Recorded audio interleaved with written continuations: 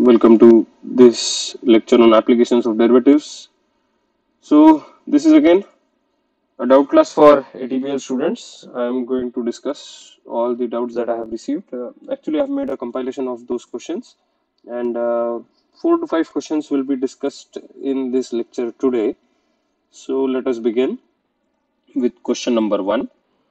Right. Uh, pen select करने दो पहले हाँ A car starts from point P at time t equal to 0 second and stops at Q. The distance x in meters covered by covered by it in t seconds is given by x equal to t square into 2 minus t by 3.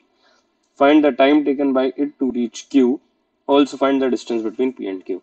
So if I if I look at uh, this problem एक uh, सबसे पहले तो एक point P है या अपनी गाड़ी है मस्त एक पॉइंट Q है। ये time t equal to zero है। यहाँ से गाड़ी स्टार्ट हुई। गाड़ी आगे गई आगे गई आगे गई, यहाँ तक के पहुंचेगी। ना एट दिस पॉइंट अगेन ये गाड़ी हॉल्ट पे आ जाएगी। It will come to rest right this is time some time has been pass I don't know exactly वो कितना रहेगा, लेकिन वो टाइम हो चुका है उतना। यहाँ पे इनिशियल वेलोसिटी ज़ीरो है और यहाँ पे फाइनल वेलोसिटी ज़ीरो है। क्यों? क्योंकि जब गाड़ी स्टार्ट करते हैं तो उससे पहले रेस्ट पे यानी वेलोसिटी ज़ीरो रहेगी। और गाड़ी फाइनली पहुँचा दी डेस्टिनेशन पे, गाड़ी रोक दी तो फाइनल वेलोसिटी ज़ीरो रहने वाली है। So we are going to use this concept here this is the expression given to you. So, x is equal to, let's start from the solution now. x is equal to कितना दिया है T square into two minus T by three which is just quickly 2t square minus t cube by 3 okay now let me differentiate this i'll get this as dx by dt is equal to 40 minus 3t square upon 3 cancel this out okay so what i can do is i can take out t common i am left with 4 minus t लेकिन अगर मुझे suppose point Q चाहिए मुझे पता है point Q the final velocity zero means this velocity zero so I get this as T equal to zero लेकिन T equal to zero तो P की पोजीशन दे रहा है। टी इक्वल टू ज़ीरो तो पी की पोजीशन दे रहा है। तो T equal to four T minus four equal to zero and T equal to four मुझे क्यू की पोजीशन देगा। So how much time has lapsed four seconds from P to Q, that's the time taken. Right now also find the distance between P and Q तो ये तो distance वाला था ही ना फंडा अपने पास में x इक्वल टू कितना दिया था T square into 2 minus T by three so I know that t is equal to 4 तो 4 सब्स्टिट्यूट किया यहाँ पे नहीं आ जाता 16 into 2 minus how much is this this is going to be 4 by 3 take LCM here that's going to be 16 into कितना आएगा ये 6 minus 4 that is 2 by 3 है ना so final answer will be 32 by 3 I think he had given us this in metres ये second में था थोड़ा सा अच्छे से लिखा था सेकंड चलो ठीक है यार। सेकंड राइट ना this is the correct answer let's move to question two question two a spherical ball of salt is resolving in in water in such a manner that the rate of decrease of volume at any instant is proportional to the surface यानी surface area रहता है ये। Prove that the radius is decreasing at a constant rate ठीक है कोई बात नहीं एकदम मस्त है प्रॉब्लम ये okay now so first step is always to determine the geometrical shape geometrical shape is a sphere अब यहाँ पे क्या बोला है in such a manner that the rate of decrease of volume so dv by dt is proportional to surface यानी surface area इसी का मतलब हो जाएगा डीवी बाई डी टी ये ये डायरेक्टली प्रोपोर्शनल वाला फंडा पता है कि नहीं सब लोगों को? D V by D T is equal to minus K into S now you would think, why minus sign? This is very simple. He has already given us rate of decrease of volume. अब जब decrease होता है तो आपको पता है कि ये डीवी बाई टी मैंने निगेटिव लेना चाहिए। इंस्टेंट मैंने बाई डी टी को ऐसे ही रखा और राइट हैंड साइड पर निगेटिव साइन लगा दी। एक ही तो बात हुई ना, क्या फ़र्क पड़ता है? So now I'm going to just differentiate this. This is K is a constant of proportionality. Now let's write the values here.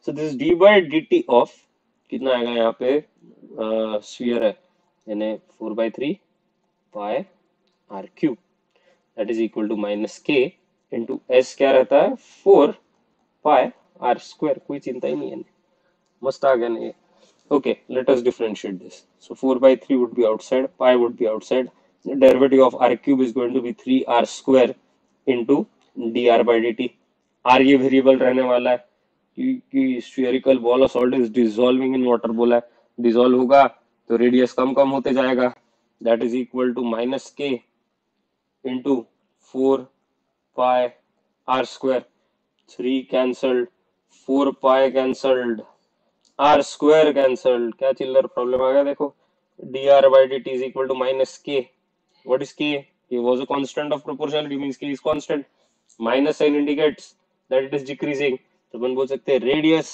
is decreasing at a constant rate दिख रहा है कि नहीं?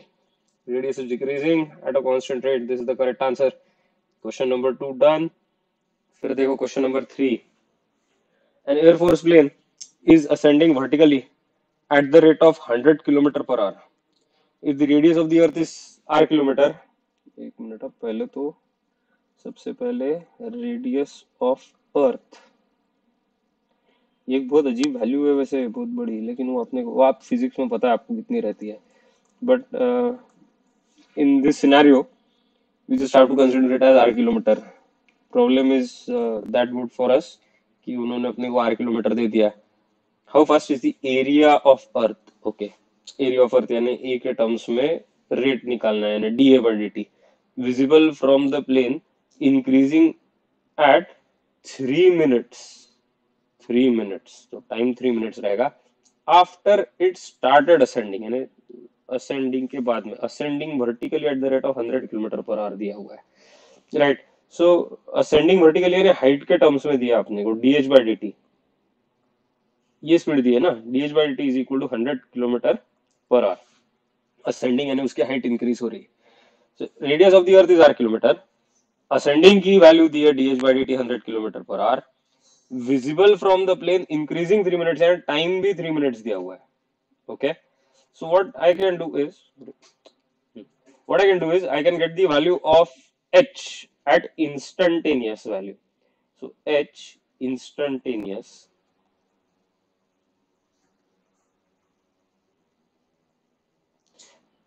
ये क्या रहने वाला है? देखो, पहले तो 100 किलोमीटर था अपॉन मिनट में कन्वर्ट कर लेते हैं ना 100 बाय 60 करना पड़ेगा इनटू कितने मिनट तीन मिनट पे।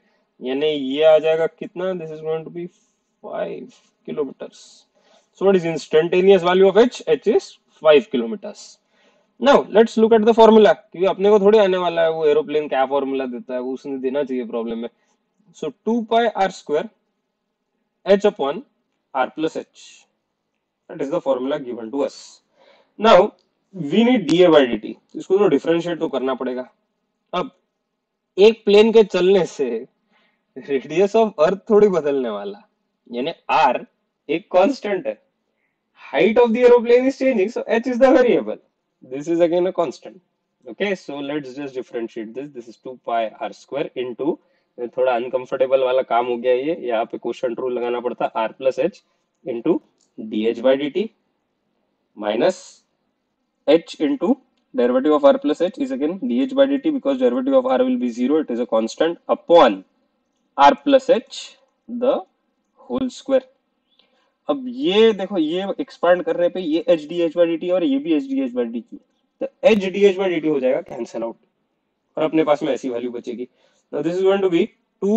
pi this r is multiplied with this r square so that will give you 2 pi r cube upon r plus h की वैल्यू कितनी थी 5 the whole square into dh by dt कितना था 100 so that is थोड़ा सा लिख लूँ मैं 200 pi r cube upon r plus h the whole square unit unit is going to be अब मैं थोड़ा सा यहाँ लिख रहा हूँ आप लोग देख लो it's going to be kilometre square क्योंकि किलोमीटर में दिया था ना ये किलोमीटर में था ये किलोमीटर में निकाला so kilometre square per R so that's the correct answer D H by D T ये किलोमीटर पर आवर में था ये गलत मत समझना, मैंने यहाँ पे मिनट में कन्वर्ट किया क्योंकि मुझे यहाँ से ये मिनट का यूनिट कैंसिल आउट करके किलोमीटर में निकालना था but I have kept the speed in kilometer per hour only.